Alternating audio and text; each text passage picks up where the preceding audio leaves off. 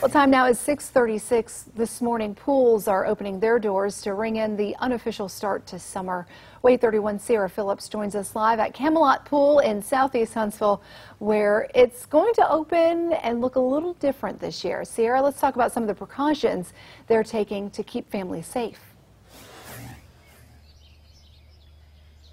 Marie, when the pool opens its doors later this morning, they'll only be letting in members, not members and guests. At the same time, staff will be reminding those members to keep a six foot social distance. Staff will be cleaning and sanitizing the pool and lifeguard chairs, as well as the bathrooms. They'll also have a separate exit, exit to limit interaction. A pool representative told us while this Memorial Day weekend hasn't been as busy as years past, people were excited to head back to the pool. I think people were ready to come out and see their friends and, and just do a little socializing.